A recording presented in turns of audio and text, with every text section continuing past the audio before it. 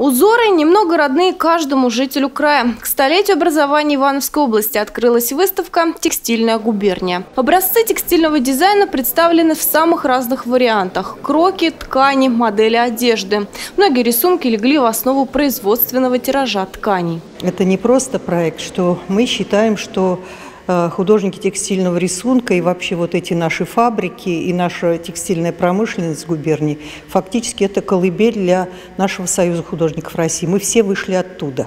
Все началось как раз с, с школы рисования Штиглица, потом там были колористические различные э, школы, а потом э, химико-технологический техникум, художественное училище, текстильная академия.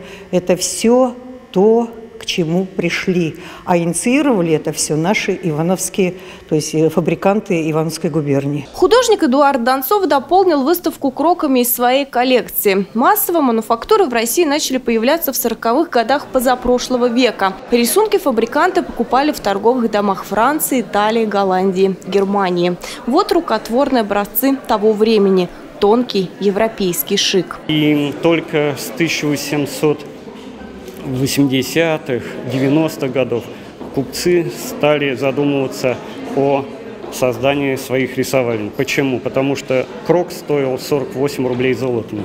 Это большие деньги были. И постепенно-постепенно стали создаваться, но художников не было, приглашали мастеры, холлы, палиха.